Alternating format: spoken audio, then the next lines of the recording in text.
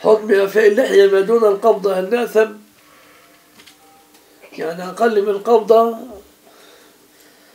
كلما قصرتها خالفت سنة رسولك صلى الله عليه وسلم.